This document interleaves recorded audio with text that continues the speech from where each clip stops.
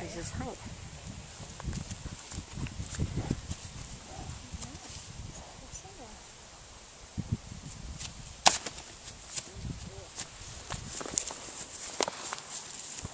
So Hank's here at Centerline. He's one of the equine angels, Premarins.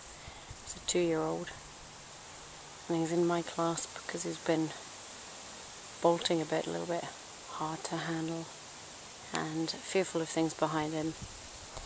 So this is our first lesson together of the week, where he's going to be learning to overcome these obstacles, get comfortable with things forward, and then going through them backwards and moving objects.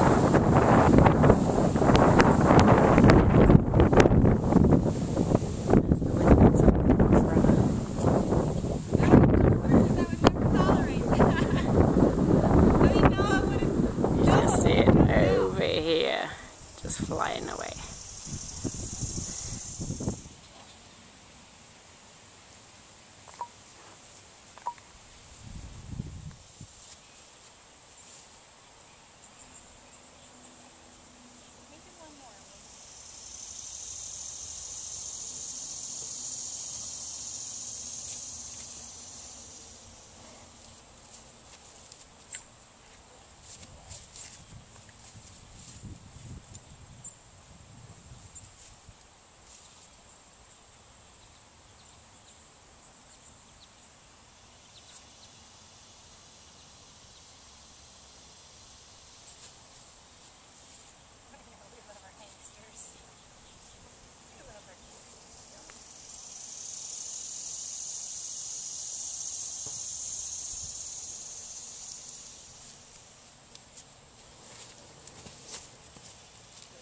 Beautiful.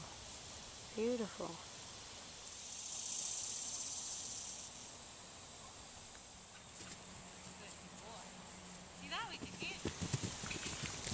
Sit and pull.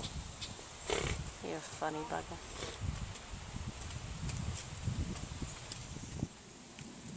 Bring him in, bring him at that. Sit. Now you don't, yeah. Now you don't have him. Okay.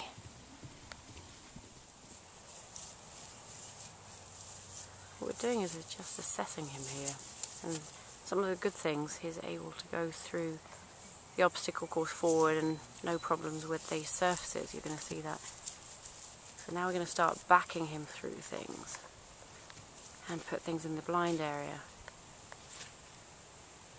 That's part of the assessment to see that certain colours don't phase him, certain surfaces don't phase him, movement does, and from behind us, coming all the way down.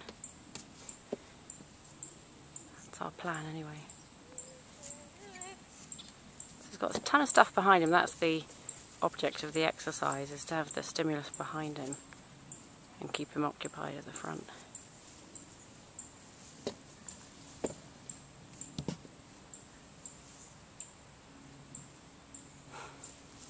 Job. Makes it look easy.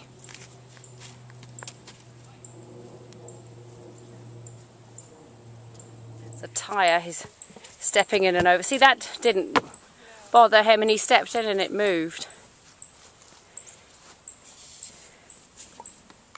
Just changed the scene a little for the guy.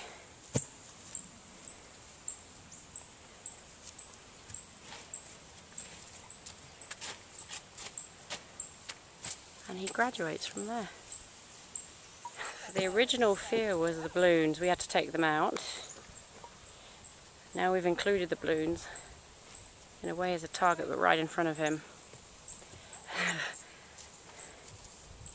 Because it's movement we've discovered. So that's pretty neat.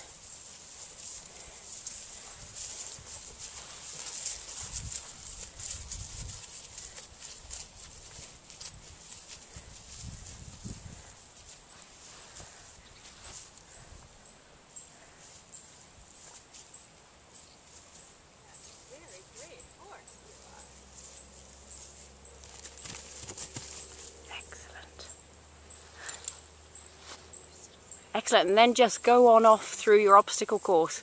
You know he wants more, just walk off. Perfect.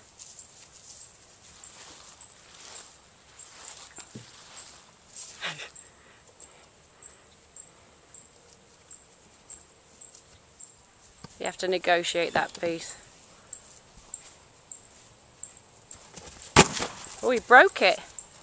Oh, sorry for the for the birthday girl. I'm going to have to do...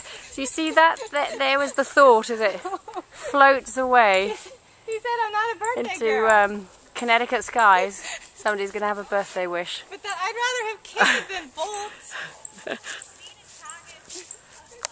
Wow. But that that actually was pretty awesome. Yeah, I'd rather have that than. Can you do this? I know this is a lot. It's pretty tight, but you can do it. Much? No, I, I reckon he can do it. Look at that, see? Even if you negotiate the circle a bit. There's our new obstacle, as Sarah pointed out. He's joining us as a predator. There we go, that worked pretty well. And from behind. yeah, You can do it, Hank. I you can. You're a man. you can do it. I know you can. Come on, buddy. I know you can. Careful your stifle. Good boy. So Candice is here with B and we're looking to strengthen the connection between the two of them. And so today we decided for, for bareback so that she could feel B underneath her, feel the body, feel the movements. I've loosened the rein some, so you're seeing that. And we've discovered that she neck reins, which is fabulous too. We've got a nice forward motion. And they're pretty connected right now. That's neck rein. Sorry. Just neck rein for a moment so that you know you can. Continue neck reining. Beautiful. Like butter. Like butter. She's totally like butter. Very funny. Beautiful. Where's that western saddle? Go get the paddle. And then without the hands, think it, think it, and breathe into your feet. Visualize a four beat when you're ready. No hands, the four beat. One, two, sit deep. Think about the walk. You're doing really, really well. Just think about the walk. Continue thinking, putting the weight into your lower part exactly. And one, two, three, four in your head. Not bad, not bad at all. Riding in his jeans. There we go. With the confidence. Love it. It's been about four or five years since Candice has done that, and I don't believe on B. Not sure, but it's pretty neat. Lovely and relaxed. What we're looking for is her to be able to bring B down to a walk without any hands. And that, that was our best one. I'm so pleased I'm recording it because your hands didn't move. Oh! it was gorgeous. This is Abby. She was in the class last year as a Belgian who is bolting, but um, look at her now. Sarah's brought her all this way. She's being started under saddle. She had the surcingle on a few times, saddle on a few times, and so just learning the direction, speed control, and getting more and more comfortable with all of this. There we go. Abby at a trot. She's a three-year-old. She's one of Frank Weller's from Equine Angels. She's up for adoption. So take a good look. Looking for a wonderful home. You've got to match at least a five-star hotel.